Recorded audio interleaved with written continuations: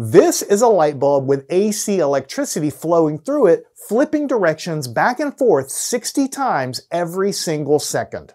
Now this is a light bulb with no frosting so we can see the filament and this is a high-speed video camera at thousands of frames a second.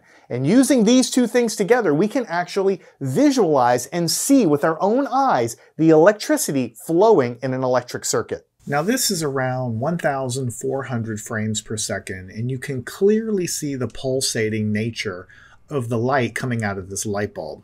And it's kind of amazing to me that we can't see this with our naked eyes because our eyes are just not fast enough.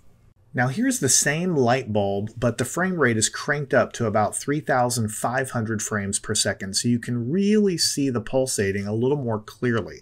Now, I think this is really, really cool. I was able to get my high magnification lens out and really take a look at that filament.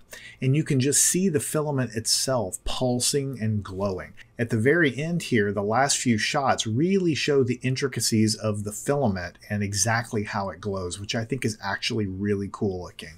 And the other thing that's interesting is if you look really carefully, you can see the filament itself moving. Not only is it pulsating in the brightness, but you can actually see it like a almost like a shaking chain or a shaking necklace or something, jiggling up and down as the uh, thermal expansion and contraction of the metal happens. You can see it physically moving, which looks really cool.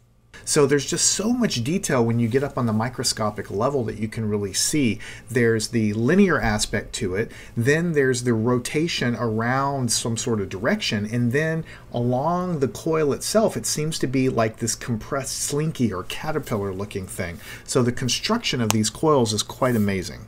But how exactly does this work? Here is a circuit here with an AC source, and you can think of this resistor as being a light bulb the electric current flows out of one side, but it doesn't go in one direction forever. It actually turns around and then goes back through, alternating in, in direction of the current 60 times every second in the USA and different frequencies in other places around the world. It's very helpful to visualize the current as a string. Instead of going in one direction, it basically switches and changes direction, going back and forth, back and forth at the frequency of the source, which in this case is 60 times a second. Now you might ask, why do we actually have AC electricity anyway? Why isn't it all just DC? Well, it turns out that it's actually easier to generate AC electricity in large quantities and it's actually easier to transmit it over longer distances. Learn anything at mathandscience.com.